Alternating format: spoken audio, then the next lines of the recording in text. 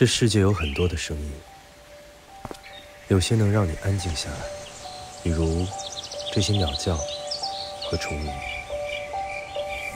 有一些会让你一听命中，比如你的声音。每每听到这个声音，就会让我想起你身上淡淡的桂花香气。每每听到这个声音。会让我想起你做的菜和说过的话。你的声音像夏天吹过竹林的风，温柔又坚定。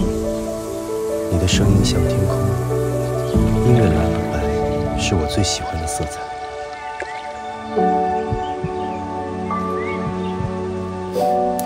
这是我在想你的声音，你听到了吗？